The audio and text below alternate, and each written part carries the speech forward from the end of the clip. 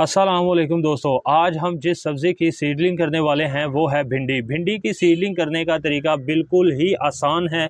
इसके जो सीड हैं, आपको जिस तरीके से लगाने का तरीका बताने वाला हूँ, इससे आपके सीड दो दिन के अंदर अपनी जर्मिनेशन शुरू कर लेंगे।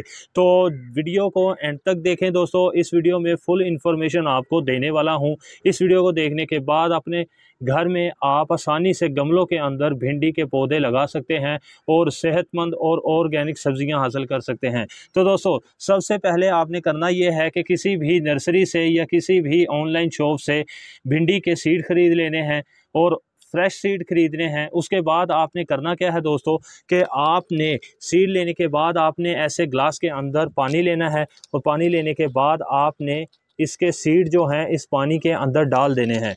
और पानी के अंदर डालने के बाद दोस्तों, इसे हम तकरीबन दो घंटे के लिए ऐसे ही सीड को इसके अंदर भिगो कर रख देंगे। अब हमने अपने सीड इस पानी के अंदर डाल दिए हैं और तकरीबन दो घंटे के बाद हम अपने जो सीड हैं, वापस ले लेंगे और इन्हें अपनी मिट्टी के अंदर लगाएँगे। तो चलिए दोस्तों, मिलते हैं दो घंटे के बाद। तो ये दोस्तों, दो घंटे के बाद हमने अपने सीड ले लिए हैं और आप देख सकते हैं, काफ़ी सीड हमारे नीचे भी बैठ चुके हैं। तो अब हमने करना क्या है कि इस पानी के अंदर से हम अपने सीड निकाल लेंगे।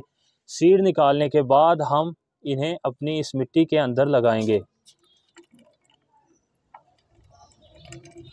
जो तरीका आपको बता रहा हूँ दोस्तों, तकरीबन इस तरीके से दो दिन के अंदर आपके सीड जो हैं, अपनी जर्मिनेशन शुरू कर लेंगे।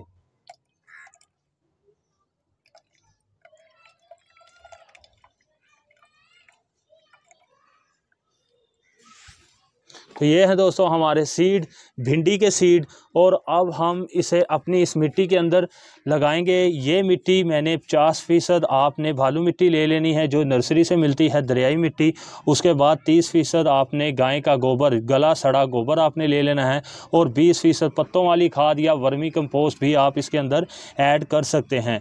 तो ऐसे आपने इसका मिक्सचर बना लेना है, और किसी भी गमले के अंदर, टोकरी के अंदर, क्यारी के अंदर आपने डाल लेनी है मिट्टी, और दिन पहले अच्छे तरीके से इसे पानी दे देना है, ताकि मिट्टी नीचे तक नम हो जाए और सीड को नीचे से भी नमी मिलती रहे।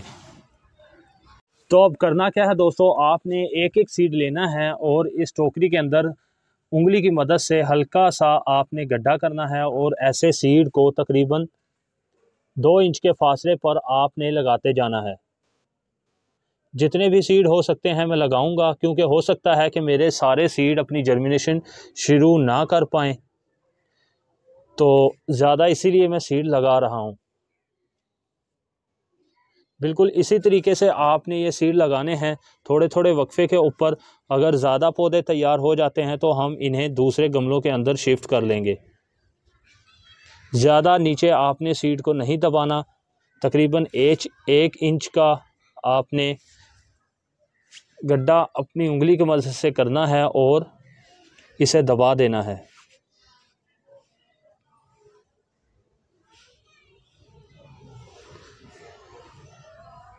तो ये दोस्तों, काफ़ी मैंने सीड लगा दिए हैं और बाकी जो है मैं दूसरे गमलों के अंदर लगाऊँगा।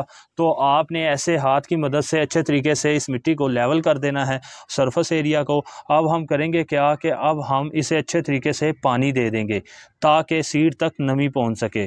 तो अब हम इसे अच्छे तरीके से पानी दे देंगे ताकि हमारी मिट्टी जो है ऊपर से भी अच्छे तरीके से नम हो जाए। एक दफ़ा ही मैं पानी दूँगा।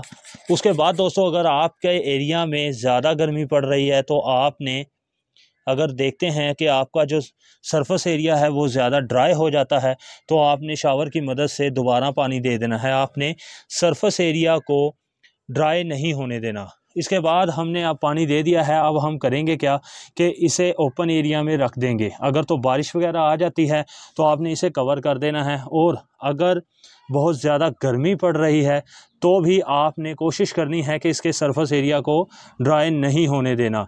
तो देखते हैं दोस्तों, हमारे जो सीड हैं, कितने दिन में अपनी जर्मिनेशन शुरू कर लेते हैं। हमारे साथ जुड़े रहिए। इस चैनल पर आपको और भी बहुत सी सब्ज़ियों के तरीके मिल जाएँगे, जिससे आप अपने घर में गमलों के अंदर सब्ज़ियाँ उगा सकते हैं। तो उम्मीद करता हूँ दोस्तों, आपको वीडियो पसंद आई होगी।